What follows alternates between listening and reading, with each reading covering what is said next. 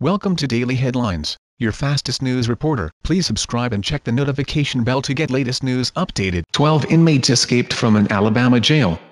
A massive manhunt is underway in Alabama after 12 inmates escaped from a jail northwest of Birmingham.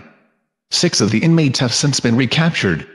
The Walker County Sheriff's Office announced the escape in a Facebook post Sunday. Six of the inmates remained on the loose, the statement said, including two who were serving time for attempted murder. Officials gave no details about how the inmates escaped. But the sheriff's Facebook statement listed the names of all 12 escapees, as well as their ages and the charges for which they were imprisoned. In addition to the two charged with attempted murder 28-year-old Steven Lamb and 19-year-old Christopher Smith the least included, Michael McGuff, 30, was in jail for obstructing government operations.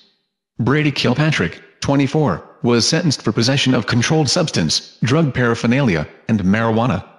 Larry Inman Jr., 29, was in for receiving stolen property and attempting to elude authorities. Ethan Pearl, 24, was in jail for resisting arrest, obstructing government operations, possession of drug paraphernalia and other charges, according to Walker County Sheriff's Office. Authorities are offering a $500 award for information leading to the recapture of the inmates.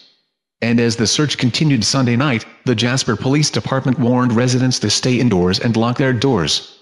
JPD has activated additional personnel to assist the Walker County Sheriff's Office in locating multiple escaped inmates from the Walker County Jail.